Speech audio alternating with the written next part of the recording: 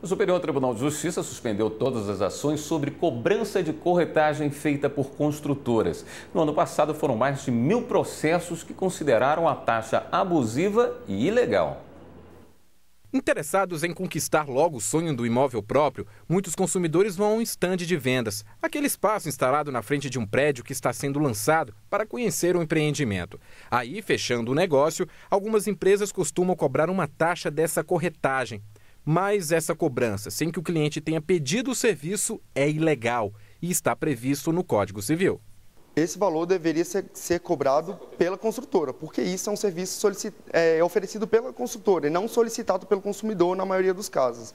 Então, se não foi solicitado pelo consumidor, não é devido por ele esse, esse pagamento desse serviço. O problema é que a cobrança de taxa de corretagem não costuma vir em um contrato separado. Pode aparecer no meio da papelada de compra, escondida, com outro nome, sem o consumidor perceber. Por isso, é preciso ficar atento. Quando o negócio for fechado, o interessado não deve pagar as taxas que são destinadas às imobiliárias e aos corretores de imóveis.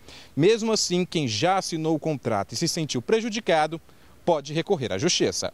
Até dezembro de 2015, haviam mais de 1.400 processos nos juizados especiais que discutiam a validade da cláusula contratual que transfere ao consumidor a obrigação de pagar a comissão de corretagem e a taxa de assessoria técnica imobiliária bem como a restituição das parcelas. Na Justiça, tem decisões que consideram a cobrança de corretagem abusiva e outras não. Ao identificar isso em um recurso sobre o tema que chegou ao STJ, o ministro Paulo de Tarso Sanseverino determinou a suspensão de todas as ações sobre o tema, até a corte decidir.